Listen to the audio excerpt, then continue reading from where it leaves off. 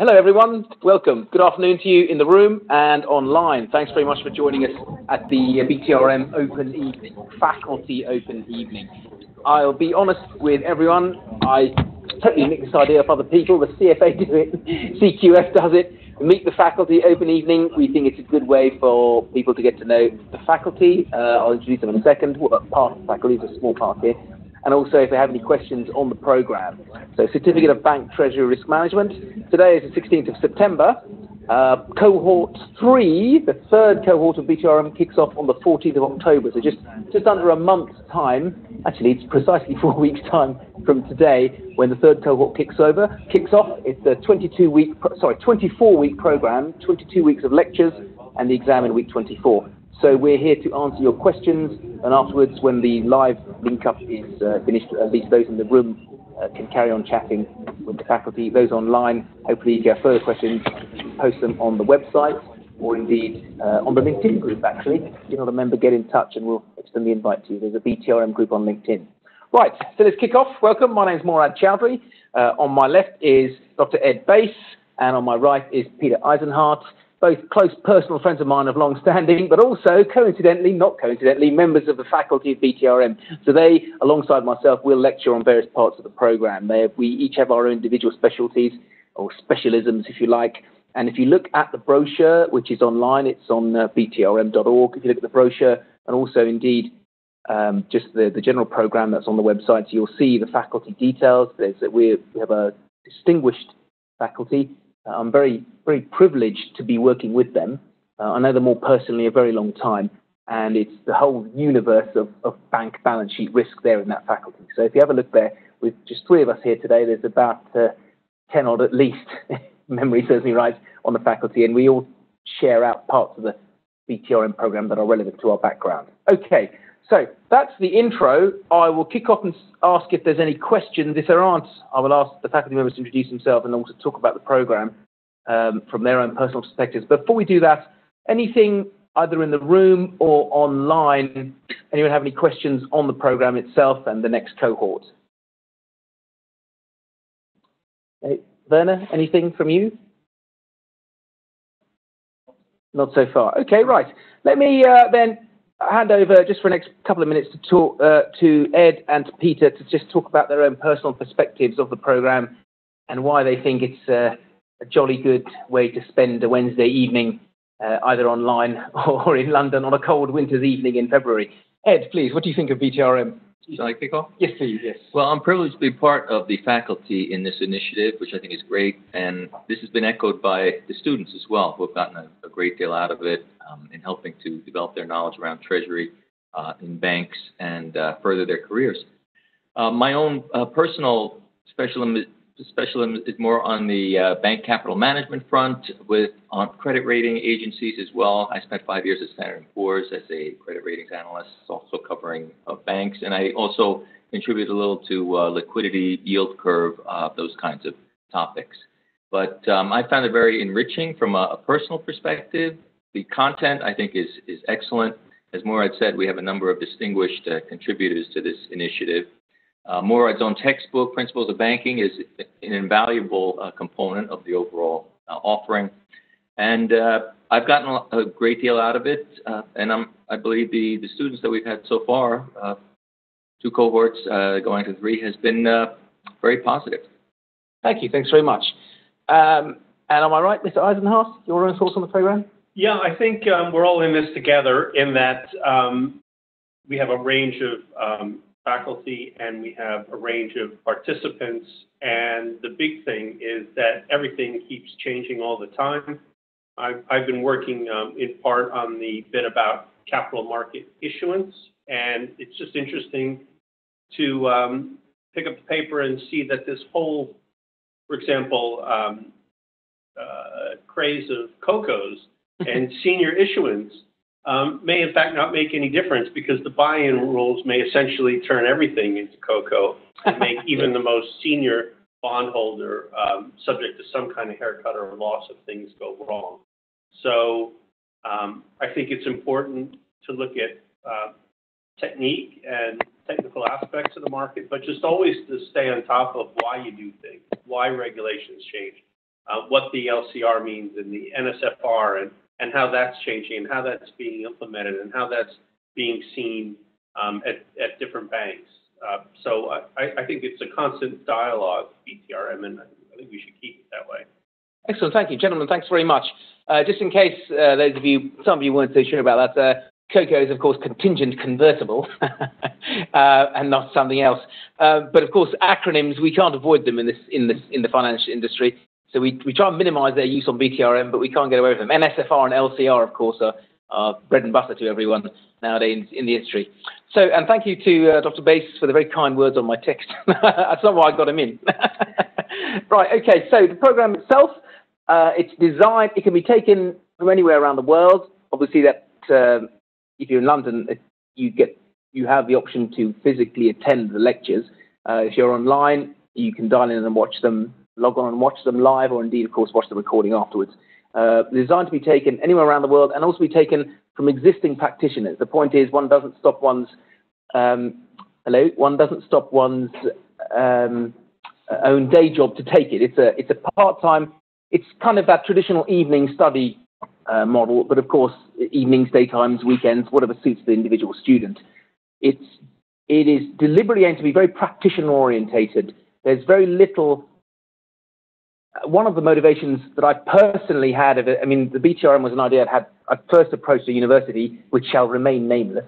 I approached a university in 2004 with a concept, believe it or not, that was very similar to this. And um, it uh, pre-crash people weren't really fussed about treasury and liquidity risk and capital management. Uh, Post crash, of course, uh, it's de rigueur for everyone in finance. Um, but one of the things that was very important to me, I found when I was uh, in the market as a junior, was it when if one wanted to get any formal learning about it, you, you, opened a textbook. It was it was full of theory. Um, I, I, personally have a quantitative background, so you know a book full of uh, equations doesn't bother me, but it's not accessible.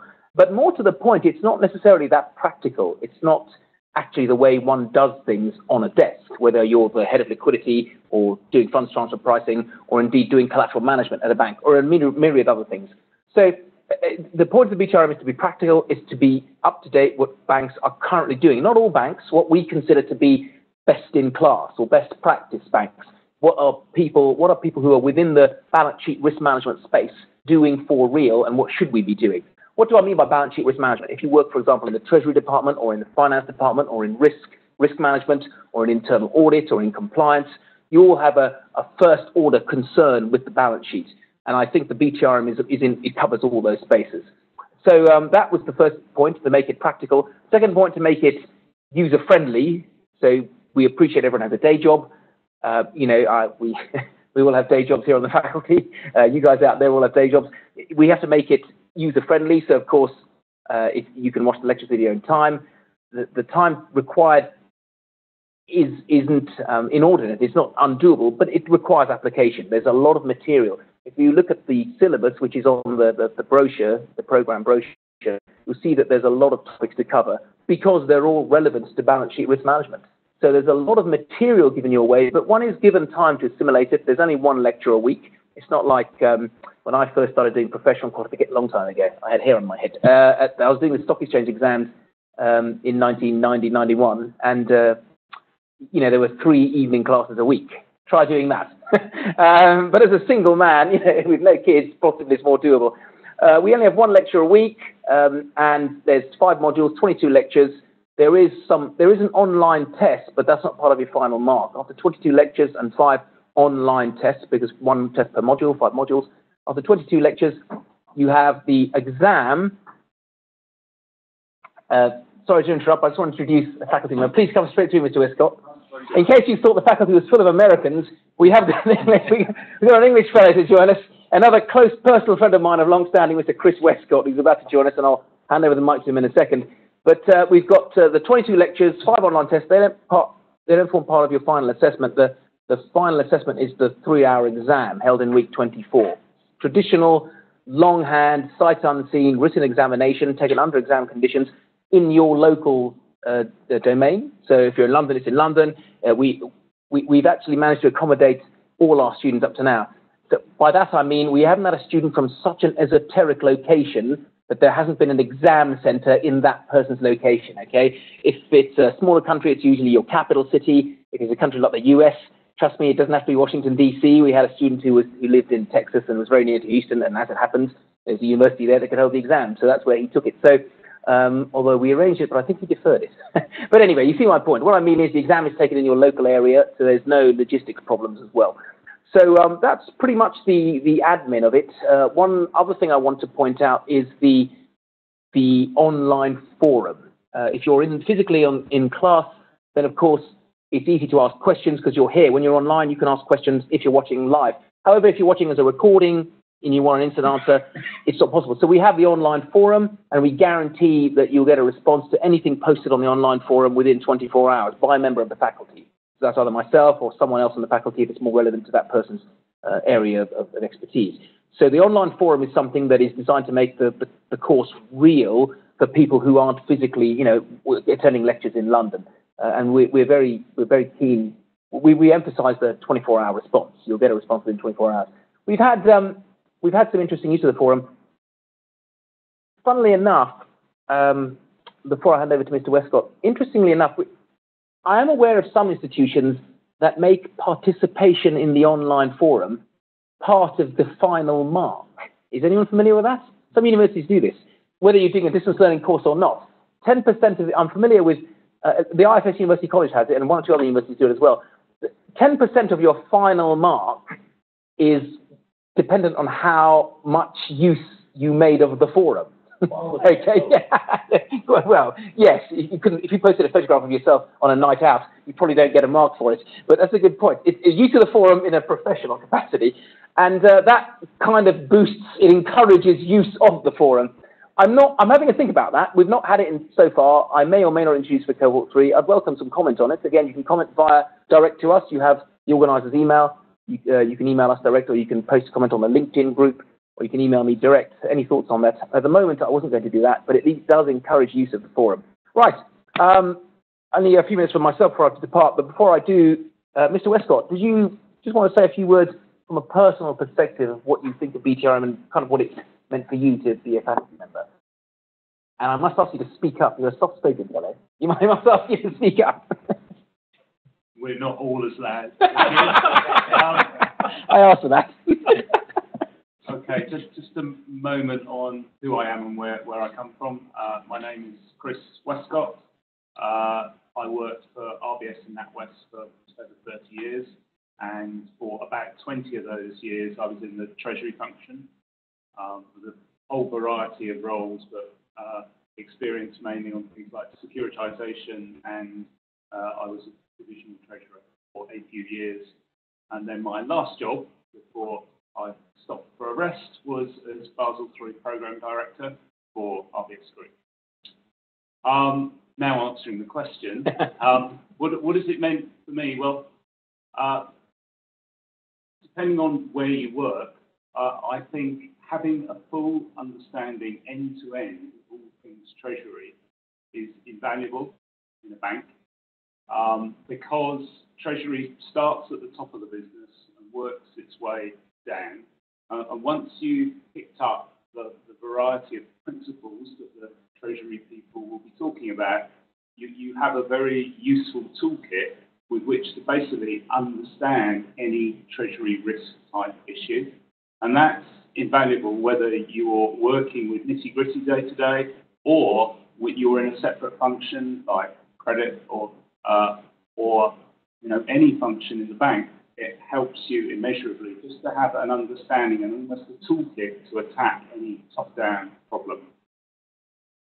Um, I have in, increasingly, uh, because Maura can't make every lecture, am picking up a, range of uh, topics over the, uh, various cohorts. Um, and I, I think as you know, certainly my approach on the, the, topics is to start at the top, work down, sell the key principles, give as many examples as I can to try and make it real so that it, it, it's something that, that, students can relate to, uh, and uh, try and keep the sessions interactive. So it's not just one person just talking the whole time, there's two-way flow, um, which hopefully makes it more interesting for students, especially uh, after, in many cases, a day's work. Excellent. Okay. No, fantastic. Thanks very much for that. Thank you. Appreciate that. Yes, uh, Chris and I were uh, colleagues at Royal Bank of Scotland, and where he was a divisional treasurer. And it's interesting to see the different approaches of people on, for example, some of the group level committees. We were on group balance sheet management committee, and subsequent to that, I was on the group ALCO actually a few times. And um, Mr. Westcott's exactly right. It's uh, learning is well, a it's it's a continuous process, but b it needs to be two way, and I I think that's that, that's for me what I've observed from the fac- all the faculties. That's how the lectures are conducted. So I'm very very pleased to see that. Right, uh, how are we doing for time? Any any questions from the room or from the phones, Mr. Kitsia? Nothing at all? No? Okay. I mean, you've got some heavyweight talent here, and I exclude myself from that, so uh, make use of that. Um, I myself have got to uh, push off. Uh, we've, funnily enough, we've got uh, the last lecture of cohort two this evening. So if anybody on the phones or in the rooms actually wants to sit in and observe that, it's being delivered by Mr. Westcott, and there's a guest lecture from a lady called Patricia Robertson on compliance culture. She's the second part of it. Uh, that's oh, I forgot to mention actually, we're very we're quite keen on having guest lecturers in the BTRM who come along once in a while. Uh, we've had about seven or eight this cohort who aren't part of the faculty. They're industry practitioners, all close personal friends of mine. uh, they're all very well respected in the industry, and they, they bring a good outside perspective. Uh, not that the BTRM faculty is inside, because they're all practitioners as well. Um, so practitioners with either practitioners or current academics who were practitioners. so it's all that, that hands-on experience. So if anyone wants to stay on and watch that, you are, of course, very welcome. The lecture itself doesn't kick off till um, 5.45 UK time, or be it British summer time. Right, uh, in the absence of any further questions, I just want to thank the, my fellow faculty members, Chris Westcott, Peter Eisenhardt, Ed Bace. Thanks very much for coming along. Um, if, in the room, if you want to talk to them afterwards, of course, you're very welcome. And otherwise, um, have a good evening. Bernard, thank you.